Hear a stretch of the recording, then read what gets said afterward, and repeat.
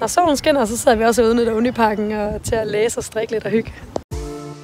Det er mega fedt at være ingeniørstuderende. Der er vildt meget socialt, og øh, det er, især holdundervisning gør også, at man får en skabt et vildt godt sammenhold i klassen. Og øh, jeg er glad for at møde op i skole hver dag, fordi vi har det godt sammen, og det betyder ret meget. Godt sagt. Ja. Universitetet, fuck hvor er det meget fedt, man kan lave, øh, og AU stiller bare nogle sindssygt fede maskiner til rådighed. Både sådan kæmpe mæskekedel og mega lækre fermenter, der bare kan gave under tryk og med temperatur. Og... Jeg er ved at valse mand til, til øl, så vi kan få noget godt øl. Det er jo, det er jo dejligt. Nej, jeg på universitetet. Så ved du godt. Så, Så den kan man drikke, inden man skal i fredagsbar. Så skal jeg med altså. En af de ting, der er fedest ved at være studerende i Aarhus, det er alle de sociale events, der er.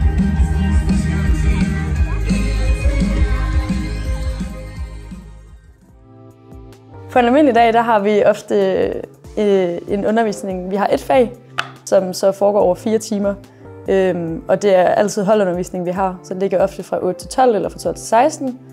Øh, og de, de første to timer plejer at være øh, en form for forelæsning, hvor underviseren ligesom kører igennem pensum op på tavlen, og så er der ofte opgaver, vi sidder og arbejder i grupper undervejs. Og så er de sidste to timer lagt af til, at vi regner på opgaver. Det gør også bare, at det bliver attraktivt at møde op til undervisningen, fordi undervisningen er så øh, Relevant. ja, relevant, at man får vildt meget ud af det. Og, og det at så dukke op, gør jo så, at du måske øh, ikke behøver at læse lige så meget derhjemme. Det er også det, der er det gode ved uni. At man selv får lagt sin læseplan. Selv siger, okay, jamen, i dag så læser jeg den her forberedelse, og nogle af de kommende dage, så laver man måske noget andet. Jeg er blevet overrasket over, hvor meget kemi der er på den her uddannelse. Det er lige en vigtig ting at have med, at man skal virkelig kunne lide kemi.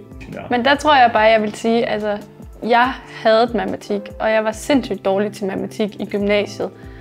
Men har ligesom læst fag op, og jeg tror ikke, man, altså man skal ikke være så bange for at blive ingeniør, hvis man måske altså, ikke er den bedste til matematik, fordi det er jo mere det der med, at du kobler det med noget teori, du for eksempel synes, der er spændende inden for fødevare, inden for medicin, et eller andet.